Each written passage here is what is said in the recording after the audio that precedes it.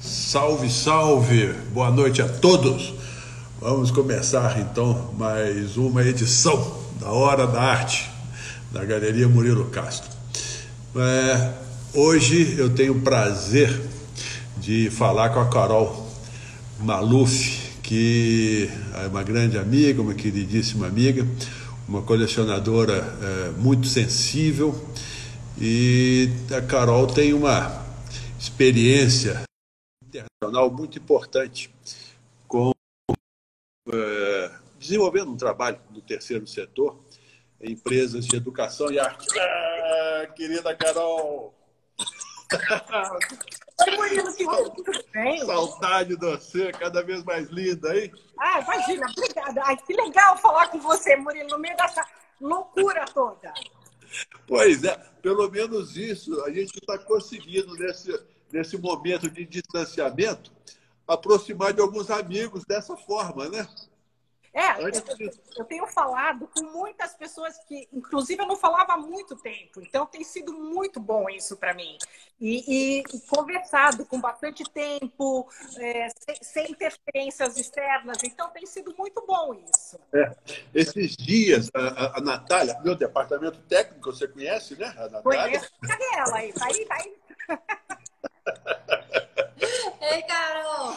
Oi, de, vez quando, de vez em quando a gente faz um bar virtual com um amigo. Ele senta lá com o vinho dele, ele senta aqui com o vinho e ficamos conversando. Isso, é, exatamente. E aí você começa a falar, é, e, e, e, como eu te disse, não tem interferência, então aí vai, quando você vê o tempo já passou e foi muito mais rápido do que você imaginou. É, é. Mas uma alegria, fiquei muito feliz, quero te agradecer quando você aceitou esse convite. Primeiro que eu tenho uma admiração muito grande por você, pelo seu trabalho, um carinho muito grande. E você contribui muito. Então, essa contribuição que eu quero mostrar é, é, nessas oportunidades das lives que você fez. Muito obrigado, Carla. Obrigada a você, Bruna. Fiquei muito, muito tocada que você me chamou para a gente bater esse papo, porque para mim é um papo, na verdade. Um papo, pois é. E eu quero fazer uma primeira pergunta para a gente começar. É que é o título da nossa live. Quer dizer, por que você coleciona? Por que colecionar arte? Então, é incrível, porque quando você me ligou e você me falou que queria fazer essa live, me disse por que colecionar, quando eu comecei a pensar, eu acho que foi a pergunta mais relevante que já me fizeram em muito tempo. Olha. É incrível, é incrível. É uma pergunta absolutamente relevante e eu não tinha me dado conta do quão relevante, Murilo, essa pergunta foi. E, e eu vou te falar por quê. Porque eu buscando a resposta para te dar, eu, eu, eu, descobri um monte de coisas importantes para mim. É, e eu vou te dizer como é que aconteceu a questão da, de colecionar. Por favor. É, quando eu perdi meus pais, eu tive que desmontar o apartamento deles. Então, é, eu cheguei lá e na hora de desmontar o apartamento. Foi quando? Ah, eu, eu, perdi os dois num período de, de, de, entre um e o outro cinco anos. Então foi um período pouco a pouco, entre 2013 e 2017. Tá? Quatro anos. Tá. Enfim, então eu tive que, que desmontar o apartamento e assim, é, você começa a ver que tem coisa que você não se deu tinham. E, e eu comecei a tirar os quadros da parede isso foi uma coisa muito importante. Meu pai tinha três coleções. Ele colecionava nikis, que eram aqueles Kamasutras uh, orientais pequenos. Sim. Ele colecionava snuff bottles, que eram as garrafinhas no Império Chinês que eram carregadas com ópio dentro, que as Olha. pessoas cheiravam, né? E ele colecionava uma terceira, aliás, quatro coisas. Masbaha, Masbaha, que é o terço, é, como se fosse um terço muçulmano, mas na verdade hoje em dia ele é usado para acalmar as pessoas. Então é como se fosse um terço de bolinhas, que no mundo árabe é muito comum as pessoas sim. usarem para se acalmar. Sim, sim. Quadros. Claro. Então, na hora que eu comecei a juntar toda aquela coisa, né, é, eu comecei a me dar conta que as coisas que eu não dei importância enquanto eles estavam vivos, estavam me contando uma história. Cada quadro, cada peça me lembrava um momento específico da vida dos meus pais. eu lembrar, comecei a lembrar daquela peça chegando em casa. E quando você lembra daquela peça chegando em casa, te traz toda uma memória daquele momento.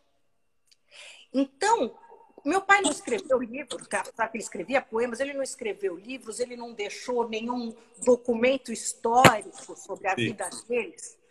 Mas eu posso te dizer que através de cada uma das peças eu consegui localizar no tempo da, no, da minha história momentos. E o que é mais incrível é assim, o, o, quadro, digamos, vamos pegar o quadro como exemplo. Sim. O quadro, ele fala não somente do artista, tá? Mas ele fala também da pessoa e do momento que a pessoa está comprando aquele quadro. Então, ao longo da sua coleção, você vai vendo como as suas emoções e a sua vida mudam. O seu gosto pela arte, aquele quadro, naquele momento significa alguma coisa. E dez anos depois, quando você olha para ele, você se pergunta por que, que eu comprei esse quadro? É. E aí é uma loucura, porque aquele quadro te conta um monte de coisa. Você tá aí? Você sumiu? Estou, pois é, não, Natália. Natália. Vamos invertir aqui, como é que faz aqui? Desculpa, Carol. Não, imagina, imagina. desculpa, você está falando do quadro, perdão. Então, então, na verdade, é, eu me dei conta que o grande, eu tinha um legado muito grande da minha história, da história dos meus pais e dos antepassados através da arte. É, eu pude, eu pude localizar o estado de espírito que meus pais estavam em dados momentos pela escolha da peça da compra de arte. Né? Pelo assunto. É, aquilo te diz tanto, ele te diz muito mais do que o artista que fez. Ele te diz, a pessoa que escolhe uma peça de arte para é. colocar na sua casa, na sua parede, ela participa tanto quanto o autor daquela peça. É. É, é uma junção de quem fez e quem adquiriu. É uma é, história. É, e quem adquiriu, Carol, torna-se responsável né, por manter essa, é, vamos dizer, esse objeto de arte existindo no mundo. E ali tem um conceito interessante que o Adriano Gomes deve estar conosco aqui da Escola Ligária, fala que é o círculo, círculo mágico. Ou seja, além do prazer da obra de arte, ela tem uma história da Isso. compra, aquisição. Então tem toda uma memória que você está descrevendo agora que ele colocou na tese dele. Olha que maravilha. É, não, é toda uma memória. É, é, o seu legado, é a sua história. Então, é engraçado porque eu tinha uma relação com a arte dos meus pais, da coleção, igual meus filhos tem relação com a minha coleção. Que assim, mãe, não tem mais espaço nessa parede. Daqui a pouco eu vou tirar meu quarto, minha cama do quarto para você. Você quer a minha parede? E era assim, eu via chegar aqueles quadros, aquelas, aqueles mitsukis, e eu falava, meu pai é um hoarder, né? Que é aquela palavra é, acumulador. Eu falava, mas isso acumula, acumula, acumula. E, e para mim era encher um espaço, que era lindo, muito bonito, mas é. eu não tinha a noção do que estava acontecendo naquele momento. Né? Para você e para todos, tem um livro, é, eu esqueci o autor agora, chama A Lebre de Olhos de Âmbar, que é sobre uma coleção de Netsukes. Isso, isso, é, é um livro maravilhoso é um sobre livro maravilhoso. E conta a história é um... a partir disso, dessas isso, é memórias. É isso. Então, o Nitsuke, ele tem isso, as Snufbottle tem isso, porque é, é, a história toda. Edmund né? Deval. É, Edmund, Edmund Edmund Deval. Deval. Edmund Deval, o meu departamento técnico, que não deixa passar nada sem resposta. Né? É isso mesmo. Agora, na sua coleção, como é que você começou a colecionar? A primeira obra, foi fácil comprar? Foi difícil assim, escolher? Foi. Como é que foi o primeiro momento, Carol? Me conta. Foi muito difícil porque é, você, você não nota, você só nota depois, depois das primeiras peças, que você tem uma identidade artística, que você, você, que você se relaciona com um tipo de arte mais do que a outra. Mas você não começa assim. Você não começa a sua coleção dizendo, ah, eu vou, eu vou colecionar impressionistas, eu vou colecionar cubistas. Você se dá conta do que você está colecionando a partir da terceira, quarta aquisição. Você começa a falar, opa, tem alguma coisa aqui que está é, em comum, né? E aí você começa a simplificar é, a, a sua arte, o que, o que te fala, né? E, então, eu, quando eu comecei, eu não sabia o que eu estava fazendo. Eu comecei simplesmente porque eu gostava das peças e, e, eu procurava. Depois da terceira peça, eu entendi que eu era absolutamente geométrica né? E nós vamos chegar nisso porque você, você tem uma participação muito grande nessa minha descoberta, não nessa, mas naquela primeira peça que eu comprei de você, né? A nossa que é basicamente é uma obra geométrica, né? Sim, sem dúvida. É. É, e, e, e, muito de, de, Como é que se diz quando você. É, é, eu gosto muito de op art, né? Que é optical illusion, optical art.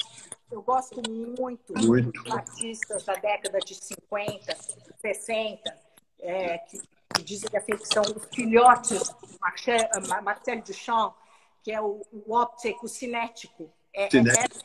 isso. E, e tem uma descrição do geométrico que é muito interessante e faz todo sentido para mim. E faz todo sentido gostar desse tipo de arte. É você tentar dar algum tipo de ordem para o caos. Exato. É, então, quem é. gosta do geométrico é porque é uma pessoa que está tentando buscar controlar, está tentando buscar organizar sua mente, né? Então, aquela visualização geométrica, ela tem muito a ver com a necessidade de ordem. E eu acho que é muito cinético, o geométrico, o cubismo, a necessidade de ordem na vida, né? É, é engraçado isso que você está falando. É, é, quando eu entrei na sua sala, eu, eu passando aquela olhada de olho. Primeiro, a gente me senti otimamente bem, estava tudo assim maravilhosamente colocado, harmônico, tudo mas é essa a linha mesmo. Quer dizer, você veio a perceber isso na, no decorrer da sedução de cada objeto para você, né? Carol, tem uma coisa que eu falo que as pessoas não entendem. Eu falo assim, eu não vendo obra de arte. Eu apenas mostro. A obra de arte está pula do dono. Não adianta eu falar assim, Carol, compra esse figurativo, compra essa obra, é barata tal. Não está no seu, na sua linha de interesse. Acabou. E, e, é incrível o, o, momento em que ela te chama a atenção, porque a obra ela te chama, né? Então, e você às vezes está é, tá passando, andando, você fala, opa, alguma coisa me chamou, aí você para, volta, é como se ela conversasse com você.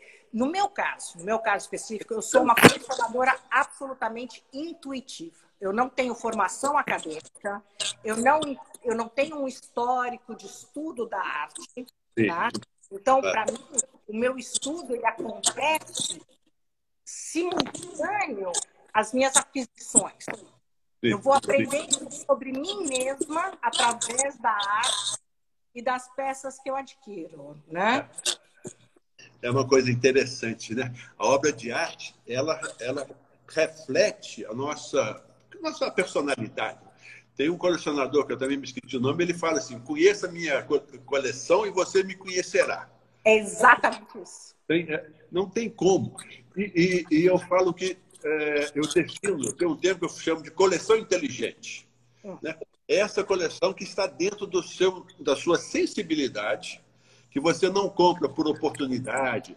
Ah, esse aqui está barato, compra isso. Ah, aquele santo. Aí, de repente, você tem acumulador, você tem um pequeno punhado de coisa que não faz sentido, não tem nexo. Né? Uma coisa não conversa com a outra. Não conversa com a outra. inteligente é isso. Quando você faz aquisição, Carol, você tem, você já falou que você tem essa, essa questão da acessibilidade, né? da conversa. A parte de investimento e de sensibilidade, como é que você equilibra esses dois é, parâmetros? Então, aconteceu uma coisa muito interessante. Porque, assim, no, no momento que eu comecei a adquirir arte, era simplesmente uma questão de prazer. Sim. Continua assim. Mas o que, que aconteceu? Na época que eu comecei a consumir arte, eu não tinha um poder aquisitivo suficiente para comprar grandes e importantes obras. Tá? Então, eu buscava aquilo que me chamava atenção, como nós falamos, aquilo que eu gostava. Coincidiu ou não, não sei te explicar como, que aquela peça, que aquela, aquele quadro que eu comprei de um artista que estava começando, que estava dentro do meu budget, depois de dois ou três anos, aquele artista, o quadro que eu comprei por um valia seis, né? Para te dar uma ordem de grandeza. E aí eu falei, opa, opa, isso aqui, é isso aqui é uma loucura. Então, assim, eu, eu sem querer, né? Sem querer também, de novo, eu estava fazendo um investimento sem me dar conta. Entendeu? É, e, e, é, que nem, é que nem da bolsa. Às vezes você acerta e às vezes você erra. Mas no meu caso, como era intuitivo, eu não estava buscando acertar. Aconteceu de eu acertar. Então, algumas vezes eu errei, mas nem por isso eu tirei a obra da parede e continuo adorando ela. Ela não é uma obra correta no mercado, mas ela é uma obra absolutamente correta para mim. Então, isso Pronto. acontece. Então, hoje, se você falar que eu sou uma investidora, é, de alguma forma eu fui levada a ser uma investidora na arte. Né? Então, eu, eu, às vezes, levo isso em conta. Às vezes, eu levo em conta. Eu falo, ah, eu acho que entre esse e esse, eu acho que eu gosto dos dois e esse vai voar. Exato. É, é. Sabe que a primeira vez que eu entrei em uma galeria de arte para comprar um, uma, um quadro, é, tinha um casal lá.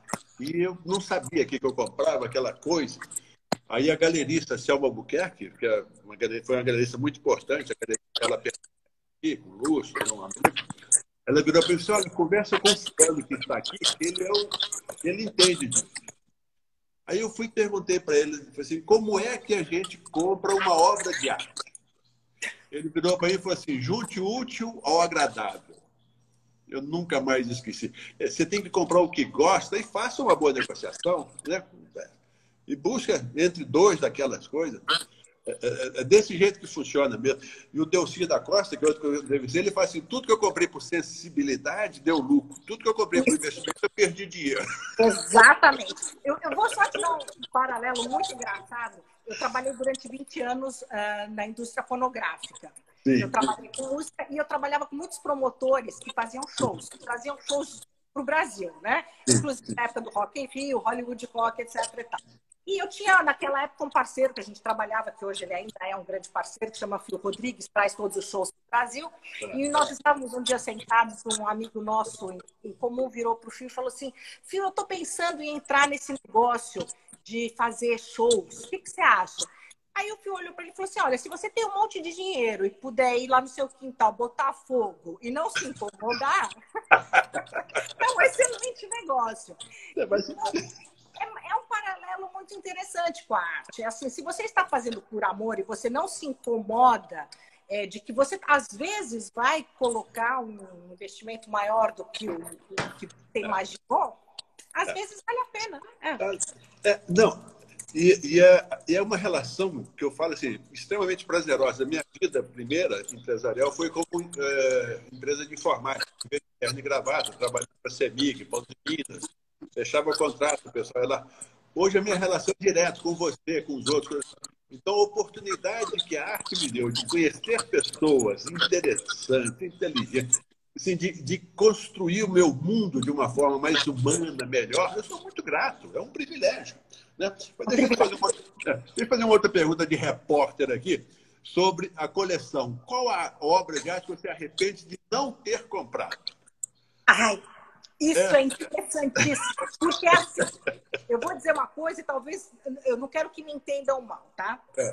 Tem uma obra que eu adoro, acho é. linda, é. maravilhosa. Eu não comprei, tá? É, mas, e me arrependo, vou te contar por quê. Que que Há muitos anos atrás, eu fui numa feira de arte, antes de eu colecionar, antes de qualquer coisa, na Hebraica. Você sabe qual é a feira de Nossa? Eu participei, eu tenho saudades da Hebraica. Tenho é. saudades, mas grandes momentos. Claro. Grandes momentos. Claro. E tinha um booth pequenininho com uma, um quadro bem colorido na época é. que me chamou muito a atenção e falou muito no meu coração e eu falei, eu quero comprar. É. Era Beatriz Milhazes. Tá? E como eu te disse, naquela época estava meio difícil, mas assim, era um preço que se fosse hoje, você, você falaria assim, aliás, ele nem existe mais esse preço, né? Nenhuma obra dela. Claro. E aí tem aquela coisa, compro, não compro, compro, não compro, né? Acabei não comprando, bum, 10 anos depois, enfim, aquele quadro eu poderia ter comprado minha casa. Tá? Então, nesse sentido, eu me arrependo porque é um quadro que eu gostei muito e era um grande investimento. Porém, olha como a vida é. Hoje, ele não se encaixaria dentro da minha coleção. Exatamente. Não era para estar na sua coleção, com todo respeito. Exato. Eu tenho respeito uma imensidão de artistas, mas que não Sim. fazem parte hoje da minha coleção. Não, não, não, não, conversariam com a minha coleção. Fantástico, Carol. Então. Olha, pois é, às, eu, eu, às vezes é difícil até definir obra de arte, porque as palavras elas vão tangibilizar uma coisa que existe como objeto, mas aí... Só, só um parênteses. Minha filha está falando assim que teria encaixado para ela o Beatriz Milhares. então sempre serve para alguma coisa. Fica a dica de presente, mãe. Fica a dica ah. de presente, mãe. Mas olha, eu me lembro, é, na hebraica, uma vez, de, de vender uma obra da Nazaré Pacheco. E, e ficou lá um dia. Aí nós fomos trocar aquela obra que tinha no acervo, uma outra obra, que era uma algema, inclusive, da Nazaré. O gesto que trabalha comigo bateu o prego, colocou a algema na parede, uma senhora estava passando e falou assim, ó, é isso que eu quero. A obra ficou dois segundos dois na parede. Quer dizer, uhum. é impressionante como obra tem dono. Obra de arte tem dono. É isso que eu estou te falando. Não é a participação de quem faz, é quem faz e quem adquire. Os dois estão dentro daquela peça, é. não só quem fez. Por isso é que eu falo, o, colecionador, especialmente no caso brasileiro, ele tem uma responsabilidade muito grande, porque a, a memória e a cultura brasileira é preservada pelo colecionador privado, que depois pode até fazer doações, né? Para, para museus, criar institutos e tudo mais, mas no, o governo não tem essa, no Brasil, não tem Esse essa. Incentivo. Não tem, né? Então, e você tem uma história, é, e você tem uma história muito bonita é, de doação. Você, você pode contar? Então, tem esse, esse, paralelo da falta de incentivo na arte, é. tem um paralelo muito interessante que é a falta de incentivo para o terceiro setor. É engraçado como nós temos. É, é, esse, esse é um paralelo muito interessante, porque é como se a arte e o terceiro setor fossem, não, eu não diria irrelevantes, mas como se eles não fossem prioritários. Prioritários, ok. Mas você acabou de dizer a coisa mais importante sobre uma nação, que é a sua memória, o seu Sim. legado. E o que, que carrega a memória e o legado, não só de uma pessoa, mas de uma nação? É a arte. É a expressão da arte. Não tem outra forma de você manter é, esse legado. É. Então, deveria ser altamente incentivado, né? Você deveria ter isenções, enfim, e você deveria também ter a possibilidade de criar fundações, como se faz lá fora, com a sua arte, com incentivos para você deixar as coleções abertas ao público. É. É, enfim, existe uma série de coisas que ainda precisam ser feitas para a arte, como no terceiro setor. Então, só um paralelo hoje, estava lendo no jornal ontem, que só o setor privado conseguiu mobilizar 5 bilhões de reais para o terceiro setor durante essa pandemia. Que maravilha. Então, o poder do setor privado é o que mantém uma democracia. É. Né? Exatamente. Exatamente. Porque manda é a população, é o povo. Então, é. se o povo entender a força que tem para manter uma democracia, através do investimento na arte, na cultura, é, é na desigualdade social, pronto, nós temos uma democracia garantida. Garantida. E culta, inteligente, é. Né? Essa coisa. Eu, falo, eu falo que o mais bonito, um dos lugares que eu gosto demais, embora é, a gente não consiga ver todo é o Museu do Louvre em Paris. Eu adoro o Museu do Louvre, porque ali você vê uma história da humanidade, né? toda. Mas a coisa mais linda para mim, não só no Museu do Louvre, mas falando dele, do que em outros museus, é ver grupos de crianças sentados, olhando para um quadro e discutindo. Aquilo, para mim, é o que é de mais bonito no museu, sabe? É lindo. É isso, é esse processo. Só uma historinha. É, eu queria muito que meus filhos, quando eles eram pequenos, se interessassem por arte. É. É, de uma forma é, como cultura. Não só gostar de arte, pintar, desenhar, mas eu queria que eles tivessem conhecimento de arte. E eu pensei, meu Deus do céu, se eu levar eles para o museu, num, num, num, primeiro choque, é, num Louvre da vida, eles vão sair correndo, vão me matar, nunca mais vão querer. Então, eu lembro que eu pensei e falei assim, como é que eu posso é, cativá-los na arte? E aí eu lembrei uma coisa interessantíssima, que foi a privada do Marcel Duchamp. É assim, é, é a melhor forma de você introduzir arte para uma criança, é você lhe mostrar uma privada e dizer, olha, isso é arte. E chama é. arte dada. E aí, é, tá lá é Aí as né? crianças viram arte Dadá, tem um negócio que chama Dadá, tem. É. E a privada é arte. É, pronto, acabou, acabou. Na verdade, não é uma privada, é um histório, né? Mas tudo é, bem. É, e, então você desperta uma curiosidade e o Louvre te permite Exato. justamente voltar no Louvre, passar por toda. Então você pode não. ir de um para o outro e assim, né? É, Agora, outra, outra pergunta de repórter, né? Qual que é a obra que você está buscando hoje para a sua coleção? Qual que falta na sua coleção hoje? Porque a coleção de arte é uma coisa que a gente constrói. Nessa tese do Adriano, ele fala que a obra de arte, a coleção é a obra de arte do colecionador, né? É o que ele vai construindo. Uhum. O que, que você considera hoje que está é, é, faltando na sua coleção? Então, tem, um, tem um, uma peça. Não, não, é que, não, é que, eu vou querer te vender, não. É, é, é pergunta de Não, não, eu sei onde ela está. Eu sei aonde ela está. Ela ah, é. está. ela está lá desde 2014. Te esperando. Na mesma galeria. Que você conhece a galeria em Miami, chama As Casos, sabe qual que é? Sim, né? As Casos. É. Sim. Está lá te esperando tem um quadro do Jesus Soto. Maravilha. Chama Ambivalência. É, eu, eu, acho que o dono da galeria, não, espero que ele não ele quer me matar, literalmente, porque eu entro desde 2014 é. e falo para ele: isso vai ser meu. E gente negocia, negocia, negocia, negocia e eu saio. Aí volto o ano seguinte e falo para ele que vai ser meu. Aí ele pega e depois fala assim, que pariu, meu.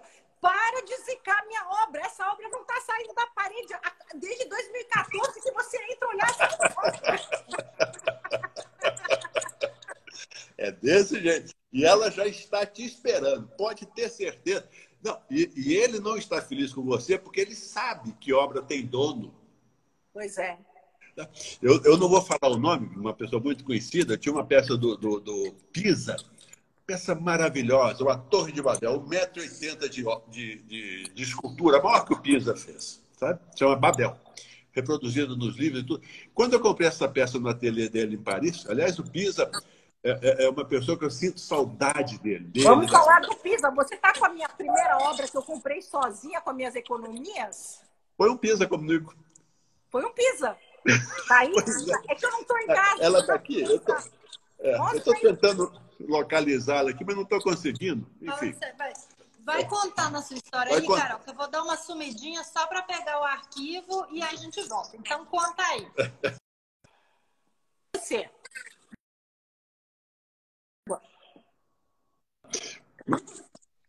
Está me vendo agora? Babel.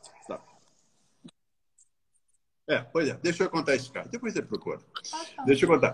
Aí eu comprei essa peça lá no, no Pisa e eu falei assim: é para o fulano de tal.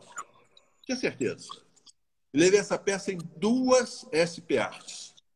E ele chegava e negociava e não fechava, a gente não chegava a acordo. E eu falava com ele: estou guardando essa peça para você. E a peça ficava na SP Art o tempo todo ninguém se interessava, só ele. Na terceira, ele comprou antes da feira começar. Como você está com essa peça? Estou. Pois vamos fechar em tanto? Você agora eu vou fechar com você. A peça está na coleção dele. Eu sempre falei, estou guardando essa obra para você. E ele é um grande colecionador do Pisa. Tá? Então é isso mesmo. Não tem jeito. Agora, o, o, eu tenho vários pizzas. Os meus pizzas são todos adquiridos pelo Murilo. E você, né? E, aliás, foi graças ao Pisa que nós nos conhecemos. Que, que nós nos conhecemos. Muita gente, lá na parte, lá na, na lá na USP. Antes, antes. É. Que foi o primeiro Pisa grandão que eu comprei. Ah, exato. O arame geométrico. Ah, na, na, é? Exatamente. É. E depois você comprou um Benjamin. Agora, recentemente, foi o Benjamin. Azul. Eu, eu, eu, fui, eu, vou fazer a live com a Carol com o meu Benjamin aqui. Com o seu Benjamin, é exatamente. Eu amo o meu Benjamin. Depois você comprou um cérvulo fantástico também. Cérvulo, comprei com você também, o cérvulo maravilhoso. Né? O né? Júlio Vidani, que tem muito a ver com Pisa nas, nas relações de cores, de plano. Tem tudo a ver, por isso que eu te falo. Você vê que eu sou sempre atraída por, por pelo ser, é, é, assim, é, acho que deve ser que nem namorado, né? Você gosta de um aí você vai ser daquele tipo, você gosta dele daquele jeito. Tem um biotipo. É meu tipo. Eu tenho um tipo de arte. Eu tenho... Tem um colecionador amigo meu de Lima, muito, muito, um colecionador muito, muito interessante. E uma vez eu falei isso no lugar, falei assim, a, a coleção tem uma linha e ele tem uma arte pré-inca maravilhosa, uma coisa impressionante. Ele tem desenhos de Van Gogh, de Miró, de Chagall. Comprou duas obras do Benjamin enormes também. Então ele pegou a história e falou assim: Murilo, eu não encaixo nisso, não. Eu compro tudo que eu vejo pela minha. Mas é, é a persona, né? É a persona de, de cada um. Agora, deixa eu te fazer uma, uma pergunta. O, o, pelo que eu conheço da sua coleção, você não tem um artista que você mais foca. Você tem um estilo.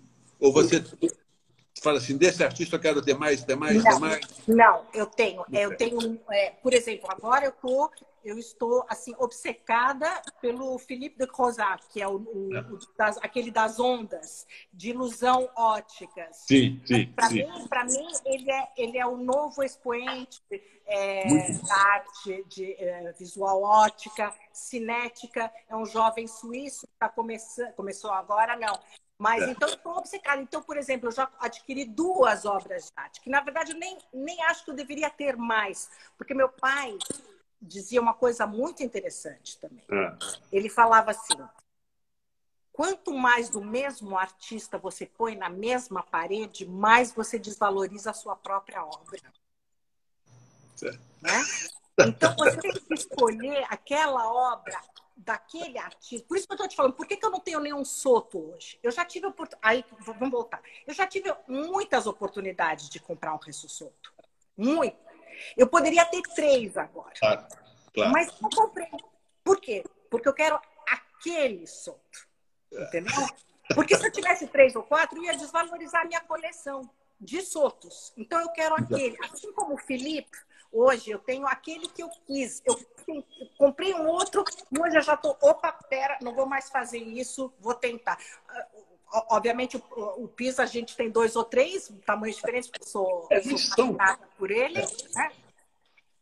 É, mas, enfim, então agora tem um, um, outro artista que é um que na época não foi tão importante como o, o Lepar, o, o Vassarelli, é, que é o Joel Stein que, é, que começou, ele também ele, ele fez parte de, desse movimento de, é. de, de op art da, de, dos anos 60, 68, que eu estou pensando em adquirir mais peças dele. Por quê?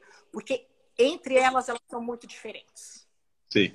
É. As é fases deles são muito diferentes. É. Né? É importante. Então, Agora, um conselho, assim, nós vamos conversar mais depois. É, a sua coleção, então, tem essa essa linha e, e, e, fica muito harmônico, né? Você vê aquilo é, de uma forma com muito, é muito, é muito bom, porque ali você estuda também, você tem ali uma questão didática, inclusive, é, dentro de um movimento né? de arte cinética, arte é, geométrica, concreta. E são artistas que alguns participaram do movimento, outros não, mas que têm essa questão. Um conselho que você daria para um novo colecionador, é, nesse, nesse caso que você falou, um conselho que você daria para um novo colecionador seria. Qual, qual o conselho que você daria para um novo colecionador, baseado na sua experiência? É, você está me perguntando se ele começar com a intenção de colecionar? Não. É, não, o novo colecionador. Bom, então vou fazer uma pergunta. O colecionador nasce colecionador, na sua opinião, ou se descobre colecionador? Ele absolutamente se descobre colecionador. Ele, na, minha, na minha visão, eu, por exemplo, eu não tinha intenção. É, veja, que nem eu te falei a história do meu pai. Meu pai fazia de tudo para eu colecionar, Murilo. Ele tentou moeda, ele tentou, ele tentou é, selo, ele tentou qualquer coisa. Não, não, não rolou. Rolou no momento natural que eu me vi colecionadora. Porque ele achava uma beleza na coleção. O fato de colecionar, né? Então, eu acho que você se torna um colecionador. É. E, e, e a partir daí, nunca mais esse vírus sai da gente, né, Carol? Ah, esse é um problema para pessoas como você. Acho que você deve ter um problema. Agora eu vou fazer uma pergunta para você. Faça. Vou te fazer essa pergunta. É, você vende obras de arte, certo? E às vezes você traz elas do ateliê do artista e coloca. Às vezes você até talvez compre lá fora para vender aqui, né? Às vezes até você deixa em consignação. É, você consegue vender todas as suas obras ou tem umas que você fala, essa não vou vender? Olha, é um, essa pergunta, Carol, é, é, é, é dramática, até de pensar. Porque eu comecei, eu era empresário de informática e comecei colecionando obras de arte. Né? E nesse momento, há 20, 20 e poucos anos atrás, tinha um artista que estava vivo aqui em Belo Horizonte, chamado Inimar de Paula, que tinha uma curativa, bonita. E eu me envolvi muito com o trabalho dele e fundei aqui a Fundação Inimar de Paula com ele. Então, tornou-se um grande amigo tal, e, tive muitas obras. Mas, enfim, depois eu vendi a empresa de informática e montei a galeria. E muitas obras da minha coleção, a partir do momento que eu tinha galeria, meus amigos chegavam e falavam assim, agora você é machão, agora você tem que entender. então eu vendi algumas obras que me doeram o coração por causa desse momento. Hoje, eu tenho algumas obras na minha casa, eh, aqui onde estou, que são obras do meu coração, sabe, Cacau? Não estão disponíveis para venda, não. Os seus estão... né? Agora, tem um... a gente nunca sabe também o que, vai acontecer. O que eu falo é o seguinte: muitas vezes eu trago uma obra para casa e aqui ela faz um estágio e ela me dá uma alegria tremenda a convivência com ela. Quando ela acha um outro, é, é, uma outra relação afetiva, né, ela vai com todo, é, com todo o meu amor também para a casa do outro. Né? Então, ela, ela, não, ela não me faz sofrer. Pelo contrário. Então, hoje, quando eu vendo uma obra que eu gosto, eu não sofro por isso, porque ela, a obra tem vida própria. Né? Então, você, por exemplo, quando você viaja, eu tenho certeza que você sente saudades. Sinto. Das minhas mais, De uma mais até do que de outra. Sinto.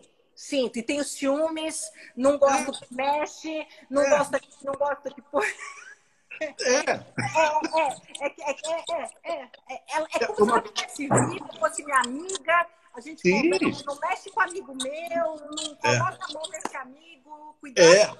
É, né? é isso aí. Desse jeito.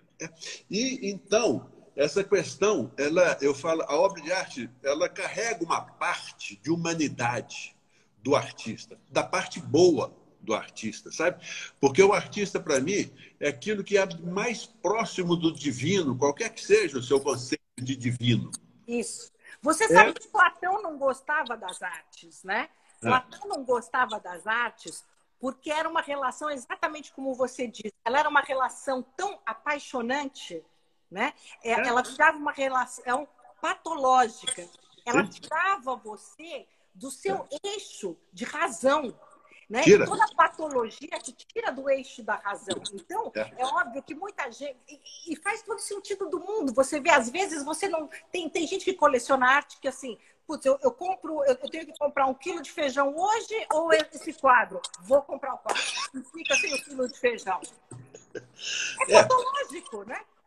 E aqui entra um conceito, principalmente, eu acho que nesse momento a gente está vivendo uma, algumas mudanças paradigmáticas importantes, de conceitos e tudo mais, embora é, é mesmo, exatamente por ser um momento difícil, né? É, hoje você a casa, mais do que o local de dormir, acordar e sair, é um local de convivência contigo mesmo, né? Quer dizer, os seus objetos dentro da casa, eles têm que conversar realmente com você. Não pode ser objetos que foram colocados e você não sabe a história. Uma coisa que às vezes me, é, é, me, me, deixa triste é chegar na casa de alguém, eu vejo um quadro que eu não sei quem é, e pergunto, de quem é o quadro? Você fala, também não sei não, foi colocado aí. Então, assim, é uma relação interna, né, no, seu, no seu espaço, que você não sabe com quem você convive. Né? Então, a, a, a, obra de arte, ela carrega esse companheirismo, essa, e hoje eu vejo que as pessoas estão é, repensando esse espaço, e, e isso vai trazer cada vez mais a obra de arte como um conceito fundamental na, na felicidade das pessoas. Ela, sim, eu, eu acho que a obra de arte, quando você, você traz ela para dentro de casa e, e você olha para ela, você entende muito daquele momento que você está vivendo. É. Né? É, é, é, impressionante como eu vejo através das obras que eu tenho em casa os momentos em que eu estava mais para cima ou os momentos que eu estava mais para baixo. Então, a coloração das peças que eu comprei quando eu estava num momento específico da minha vida é muito diferente de outros momentos.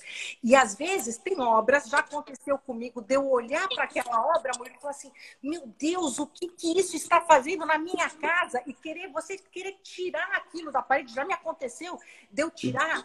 Porque o momento que eu adquiri aquela obra, ela tem um significado é, que, que eu não quero mais. Mas Exato. na época eu me toquei. Na época eu não me liguei. E isso são com as nossas relações com as pessoas também. Tem pessoas que a gente encontra, às vezes, um dia elas nos fazem um, bem tremendo e depois elas não. Pronto. Isso. Passou.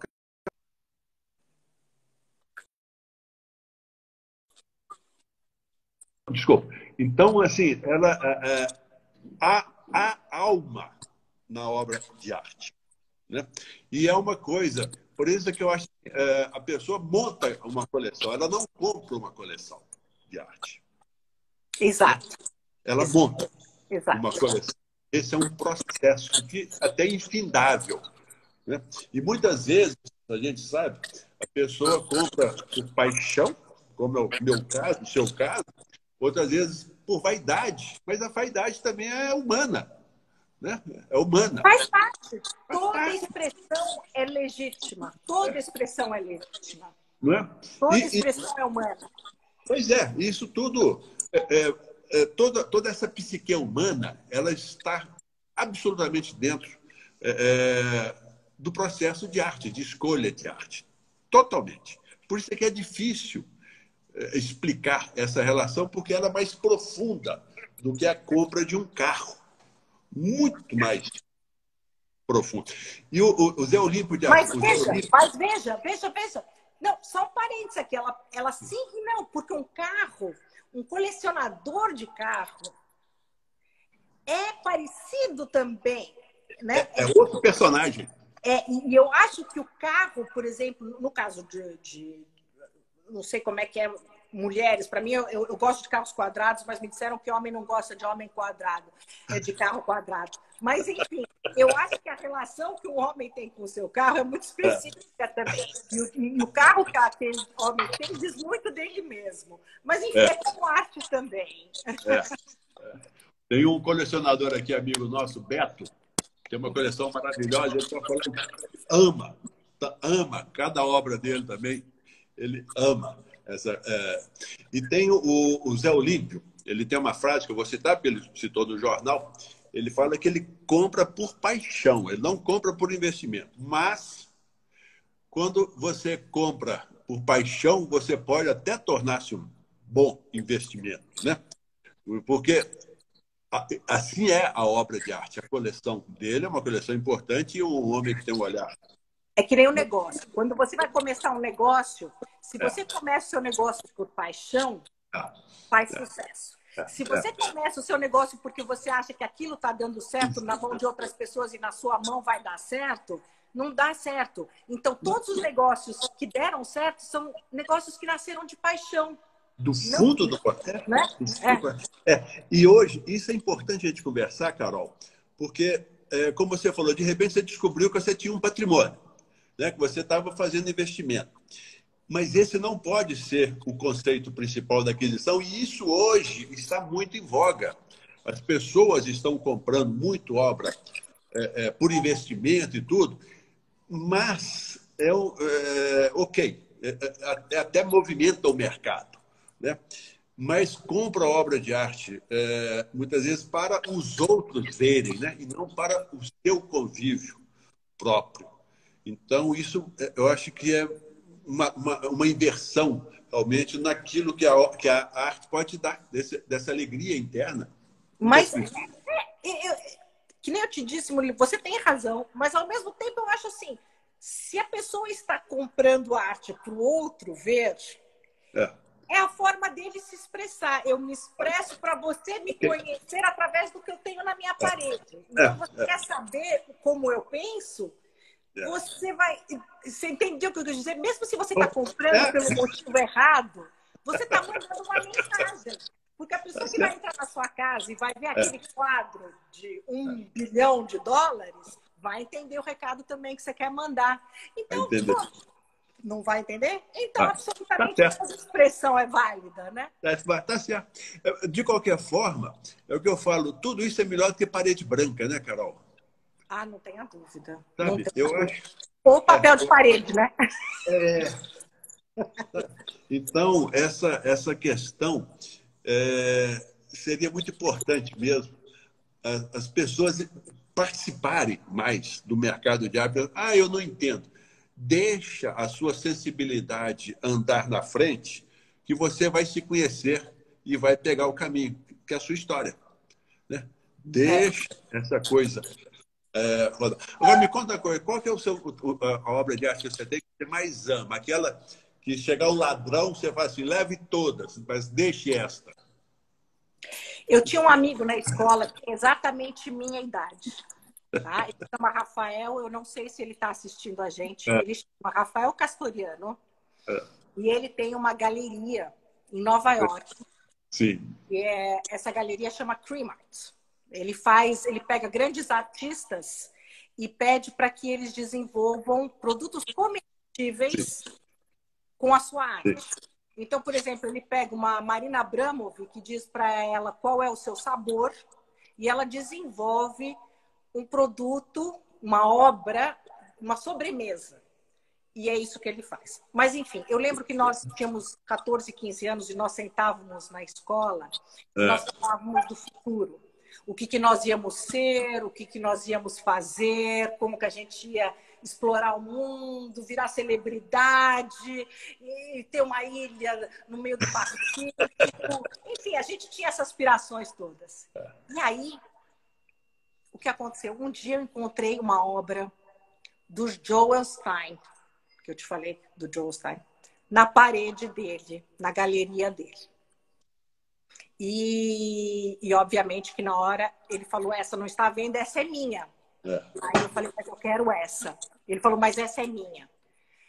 Então, ficou aquela coisa, é nossa. Então, eu comprei a obra, eu comprei a obra, além da obra ser de um artista que eu sou apaixonada, e como eu já te disse, eu quero mais obras, apesar que eu não deveria ter. É. Mas, enfim, ela carrega uma história é, muito particular, que é a minha história com o meu melhor amigo, que por acaso virou ele um grande galerista, e foi dele que eu comprei uma uma obra que eu adoro, enfim. Então, essa pode levar tudo, só não pode levar a minha história. É. Deixa isso aqui. Eu, uma coisa que eu falo é que quando eu visito exposição, eu vou sempre pensando qual obra de arte que eu quero, qual dessas obras eu vou roubar. Porque assim eu escolho aquela que presta atenção em todas, né? Para escolher uma. O Delci, que é um colecionador que eu fiz entrevista, ele fala assim: todo colecionador é um ladrão em potencial. Não tenha dúvida. Na casa do outro. Você nunca teve vontade, você nunca entrou na casa de alguém e ficou com vontade de pegar o quadro, botar debaixo do braço, oh! depois na oh! Mas não é? Oh! Se, se, se, se, as cadeias do Brasil fossem mais civilizadas, a gente até correria mais. a gente decora a cela toda, né? Imagina, Carol. Que, que, coisa maravilhosa, todas as paredes decoradas, aí fica lá sem Teto. Mas esse, esse é um vício, esse é um vício bom. Porque quando você coloca uma obra de arte na sua casa, você tem a questão do prazer, você tem um envolvimento cultural com a história do seu tempo, do seu país maior, inevitável. A obra de arte, muitas vezes, é um desafio intelectual, né? Para você analisá-la, conviver com ela, entender mais coisas. Então, ela, ela te desafia intelectualmente, mesmo não só pela forma, mas pela essa obra do servo que você comprou, essa simplicidade, você pode ficar ali elaborando essa obra do século é ótima, porque as pessoas chegam em casa, especialmente os amigos dos meus filhos, e eu coloco eles para eles olharem por todos os ângulos e tentarem entender. E aí começa aquela discussão, não, mas é um quadrado, não, mas não é, não é, é isso, aquilo. É... E é maravilhoso, porque eles passam horas falando sobre isso. Imagina, e são linhas que formam são um linhas. cubo. Um cubo, acabou. É só um cubo. É, então, assim, é, é impressionante a capacidade que a obra de arte tem de gerar um exercício intelectual maravilhoso, fantástico. A César está falando, ela contar uma história do tio Rafa. Ah, sua filha está falando para você contar uma história do tio Rafa. Eu contei. Foi o tio Rafa é a história do, do, do, do Joel Stein, que eu comprei. Ah. É, ela quer as bolhas com dançarinas. Tem, tem muitas histórias para te contar. Não sei quanto tempo a gente ainda tem, então. Nós temos sete minutos ainda. Sete Pode minutos para contar uma historinha. Conta uma história, por favor. Você quer que eu conte essa história? Eu não vou contar das bolhas hoje, que a minha filha quer que eu conte das bolhas, que eu, que eu, que eu agora também coleciono é, videoarte. Não sei se você chegou a ver em casa, que tem o da Casa Loher, que são as bolhas. Enfim, é. então é, é, é, aquele vídeo contínuo que não para, enfim. Mas então essa história que ela quer que eu conte das bolhas, mas eu não vou contar das bolhas, fica para uma outra vez. Eu vou, eu vou retomar só a questão da coleção do meu pai, para a gente terminar onde a gente começou. Né? Exato. Né? Você quer saber o que a gente vai fazer com o futuro das coleções? É a última pergunta minha, é o destino da coleção. Então, conta do seu pai, que eu acho então eu vou. É, antes de eu terminar, eu queria mandar um beijo para o meu tio Jorge Bussab, que é um ah. grande artista, tá? E que eu ainda vou colocar aqui umas obras dele que são maravilhosas. Jorge Bussab, guardem esse número porque ele, ele, ele, ele faz com a alma dele, ok? Sim. Tá. A arte dele é Depois você apresenta. Ok. Eu queria falar o seguinte. É, quando eu tirei as obras do meu pai da parede, e trouxe para minha casa, coincidentemente, eu viajei, fiz uma viagem para o Líbano, tá? E nós somos imigrantes, nós viemos do Líbano com todas as obras de arte do meu pai. E num jantar, eu estava num jantar, uma senhora na minha frente me perguntou o que eu fazia. Eu falei que eu trabalhava no terceiro setor, trabalhava também com arte, eh, né? Nas organizações dedicadas à arte. Ela me disse que o Líbano estava construindo o primeiro museu de arte moderna. O Líbano não tem museu de arte moderna. E que se chamaria BIMA, Bima. Beirut Museum of Art. Ok? E naquele momento eu senti uma emoção e meus olhos se encheram de lágrima. Ela não entendeu nada. E ela falou assim: por que você está tão emocionada? Eu falei assim: porque eu encontrei a casa do meu pai vai voltar para casa. E ela disse: como assim? Eu disse para ela: eu tenho. Você não vai conhecer, talvez algumas pessoas que estão nos ouvindo aqui. Tem um artista que chama Paul Guiragossian. Paul Guiragossian hoje é um dos maiores, ele já é falecido, do Oriente Médio e da Ásia. Ele está em todos os museus, na Rússia, é, na China, ele está em, em, Dubai, em Abu Dhabi. Existem alguns colecionadores, inclusive no Brasil, de Paul Guiragossian. E meu pai era um grande colecionador de Paul Guiragossian. E eu perguntei para ela se eu poderia doar um Guiragossian que era do meu pai. Ela disse, mas você vai doar um Guiragossian? Eu falei, eu vou. Porque é como se fosse um Portinari no Líbano. Ok? Claro. E eu falei, eu vou doar porque ele tem que voltar para casa. E meu pai tem que voltar de alguma forma para casa. Que bacana. Em setembro de 2019, eu peguei dois quadros da coleção do meu pai, do Paul, e foi doado ao BIMA, que é o Beirut Museum of Art, porque é lá que eles pertencem. Que é. É, e é como nós voltamos para o Líbano. Tá? Como a, que maravilha. A, não tem mais ninguém da minha família no Líbano. Então, a forma que eu volto para o Líbano foi através de um, dois quadros do meu pai, é, que, vão estar, que vão estar na parede do Bima. E, e, eu, e a coisa que mais. que você não vai nem acreditar nisso. Mas na semana que eu doei o quadro, era a Semana de Arte Moderna no Líbano. E um dos curadores era o filho do Paul. E quando ele me viu chegando com o quadro do pai, eu tenho essa foto, está no meu Instagram. Quem quiser olhar no meu Instagram, tem uma foto minha com o filho Emanuel que é filho do Paul. É... Enfim, é uma história. Somos grandes amigos hoje e éramos amigos de infância porque Paul pintava para o meu pai. E essa é outra história. Mas, enfim. Então, esse é o legado. O que, que vai acontecer com a minha coleção? A minha coleção que você conhece, Murilo, eu chamo ela de Pequenas Grandes Obras. Perfeito. Por, por, porque todas as obras são pequenininhas. Você já você sabe, o apartamento é pequeno. Elas são muito relevantes e Sim. muito importantes, mas em medidas pequenas. Então, ela tem um nome, é uma coleção de pequenas grandes obras, é, que um dia eu pretendo transformar numa pequena fundação para ser administrada pelos meus filhos. Muito bom. É isso. Carol, eu acho essa história da imigra... do imigrante né, que veio e agora você volta para lá, o seu pai volta para em definitivo. Em definitivo. Forever. Olha que coisa assim mais fantástica. Né?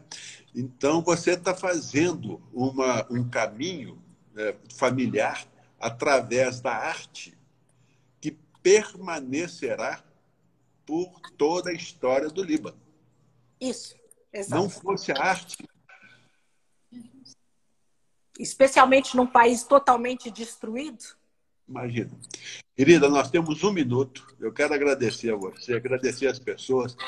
Assim, a conversa pode continuar mais 10 horas, porque é bom demais falar com você. Bom demais falar com você, bom demais que você me deu essa oportunidade de falar de uma coisa que me é tão importante e que eu nunca falo desse assunto. Vamos falar mais vezes. Eu tive um almoço em casa com as minhas primas queridas que estão todas assistindo aqui, é. e elas me deram a honra de eu poder mostrar para elas um pouquinho do meu mundo, e isso me deixou tão feliz. Então, é, eu tenho poucas, poucas oportunidades de contar. Então, é. muito obrigada. Mas foi ótimo. Mas foi ótimo. Muito obrigado. Em breve nós vamos fazer um tintim. Vamos fazer o tintim com a nova exposição que você vai fazer na sua galeria em BH, onde eu vou. Porque nós temos muitos amigos em comum aí em BH que estão me esperando para ir aí para a gente visitar sua galeria e sua próxima exposição. Compromisso fechado. Fechado. um Muito beijo para você, porque agora deve acabar a qualquer momento. Tchau. Tchau, tchau. Tchau, tchau, Obrigada. Tchau, obrigado, Carol. Um beijo para todo mundo. Obrigado. Até a próxima. Obrigada. Tchau, tchau.